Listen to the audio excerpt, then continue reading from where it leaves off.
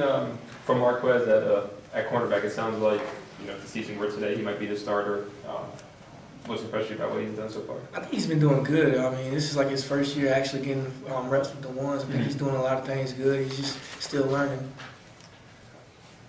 What, um, now that he has been playing basketball, you said he's still learning. Are there any areas where you've seen him make some pretty significant jumps so far? I think he's covering like really good. Like his man-to-man coverage, he's doing very good. He's still got to work on his zone, but overall, I think his man-to-man, he's doing a heck of a job.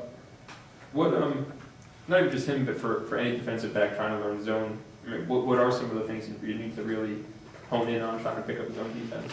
More just splitting the zone, like a cornerback. The corner's got to split the zone more, and at the safeties, you got to get depth and um, Mhm. read the quarterback's eyes.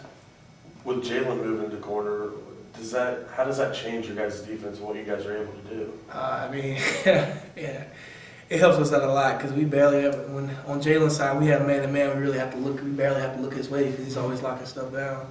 So how does that help you guys as safeties? I mean, I mean, we can basically just look to the field, and because like to the Browns, you Jalen's always locking stuff down. uh,